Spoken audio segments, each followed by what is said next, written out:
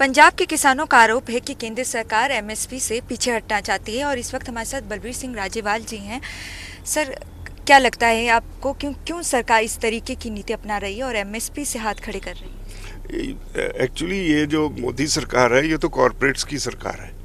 अब, बदकिस्मती है इस देश पे देश की कि ऐसे आदमी का कब्जा हो गया सत्ता पे, जो, जिसको किसान की बिल्कुल कोई चिंता नहीं। सिर्फ़ जुमलेबाज हैं और वो पता नहीं क्या क्या करेंगे।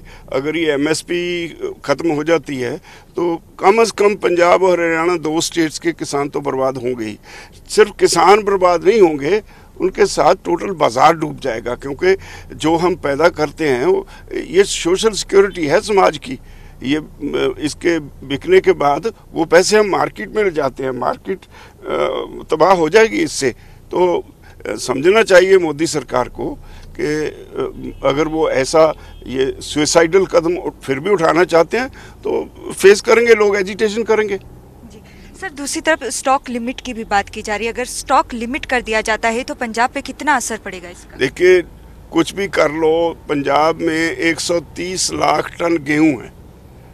अगर सरकार स्टॉक लिमिट कर देगी आधा कर देगी तो 65 लाख टन जो मार्केटेबल सरप्लस है। अपने खाने के लिए रख के बकाया ये मार्केट में बेचते हैं तो पैंसठ लाख टन गेहूँ जाएगी कहाँ? कि कोई बर्दाश्त नहीं करेगा यहाँ लोग सड़कों पे आ जाएँगे और सरकार को आ, सोचना पड़ेगा। दूसरी तरफ़ कहीं ना कहीं शांता कुमार कमेटी की रिपोर्ट को लेकर भी चर्चाएँ हैं कि जिस तरीके से उन्होंने ज़िक्र किया था, ओपन मार्केट में जो है किसान अपनी फ़सल को बेच सकते हैं। क्या किसान तैयार है इस चीज़ के ये तो उस स्टेट की बात हो सकती है जहाँ डेफिसिट मार्केट है।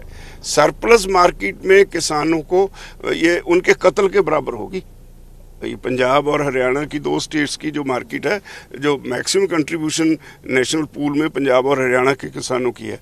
और अगर यहाँ ये जो कर, लागू करते हैं ना कोटा लागू करते हैं एमएसपी विड्रा करते हैं तो यहाँ कोई टॉलरेट नहीं करेगा।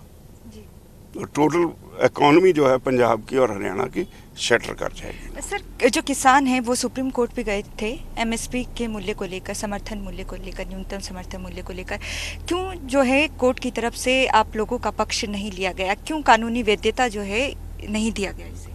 दरअसल ये है हर कोई अपने अपने आप में ये समझता है कि मैं बहुत इंटेलिजेंट हूँ। कई लोग हाफ़ कुकड बात लेके कोर्ट में चले जाते हैं, लेकिन बाकी लोगों के लिए मुसीबत खड़ी कर देते हैं। तो मुझे नहीं पता किसने किस हिसाब से केस लिया है, और मुझे नहीं पता कोर्ट ने क्या कहा है। इस पर मैं क्या कमेंट करूँगा? सर एमएसपी बड़ा मुद्दा है जिसको लेके सेमिनार किया गया है। अब 24 तारीख को जिस तरीके से आपने ज़िक्र किया है तो उस दौरान क्या कुछ जो है किसान की तरफ़ से किया जाएगा? चौबीस तारीख को पंजाब के किसान हर ज़िले से यहाँ इकट्ठा होंगे 25 की ग्राउंड में और प्रोटेस्ट रैली करके गवर्नर के थ्रू प्राइम मिनिस्टर को मेमोरेंडम देंगे। और एक मेमोरेंडम जो स्टेट की डिमांड्स हैं, वो पंजाब के चीफ मिनिस्टर को भी देंगे। सर, अभी जिस तरीके से कहा जाता है कि तेईस फलों जो तेईस फ़सल है, उनका एमएसपी तय है और पाँच से छः फ़सलों का ही जो है अभी एमएसपी सरकार दे रही है। कितना जो है किसान चाहता है कि एमएसपी बढ़े और कितनी फ़सलों का और चाहता है कि एमएसपी दी जाए? देखिए किसान से जो मर्ज़ी पैदा करवा लो वो कर देगा। जो आप इंपोर्ट करते हो वो यहाँ भी यहीं पैदा कर देगा। लेकिन सरकार की नीयत साफ़ चाहिए वो जो भी चाहती है किसान वही पैदा कर देंगे और उसको खरीदने का प्रबंध करें। किसान कितनी मांग करता है वो तो उसकी कॉस्ट ऑफ़ प्रोडक्शन पे है उस पर कुछ मुनाफा होगा वो तो अलग अलग है हर हर फ़सल की। लेकिन आ, सरकार जितनी देर तक उसकी खरीद का प्रबंध नहीं करती तो मार्केट में वो पिट जाता है इसलिए वो डाइवर्सिफाई नहीं करता किसी क्रॉप की तरफ़।